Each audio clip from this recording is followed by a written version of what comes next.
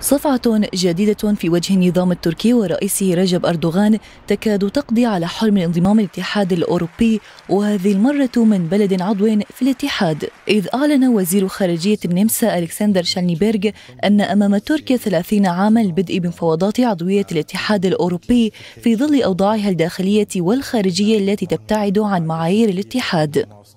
الوزير النمساوي في حديث لصحيفة دي فيلت الألمانية أكد أن النظام التركي بسياساته الداخلية والخارجية يبتعد عن معايير انضمام الاتحاد.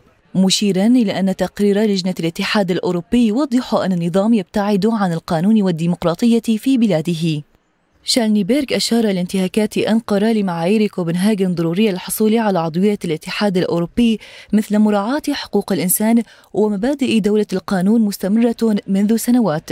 مؤكدا أن على النظام التركي الانتظار 30 عاما جديدا لإنهاء مفاوضات الانضمام إلى الاتحاد المجمد أصلا. الوزير النمساوي وفي ختام حديثه حذر أردوغان من فرض الأمر الواقع شرق المتوسط مبديا دعم بلاده لقبرص واليونان في هذا الملف.